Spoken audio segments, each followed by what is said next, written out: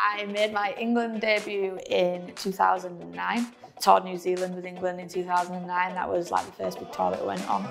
We went to the World Cup in, well, played in the home World Cup in 2013 um, in England, went to the World Cup in 2017 uh, with England to play in Australia.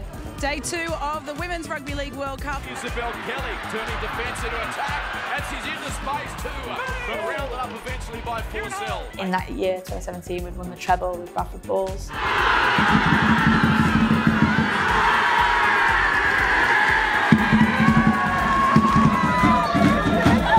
the back of winning the treble, I signed for Leeds to start playing for Leeds in 2018. Played for Leeds in 2018, won the League Leaders and the Challenge Cup final, and then retired after an injury. So I sustained an injury on the 9th of September 2018 against St Helens, having surgery for um, a snapped ACL, uh, having a recon, which is uh, pretty straightforward, but that went wrong. Seven operations later, decided that I'd need to hang my boots up in October 2019 after Leeds had won the grand final. In February 2020, I was offered the job as the head coach for Leeds Rhinos Women. And I'll tell you what, when this final hooter goes, jubilation, there you go.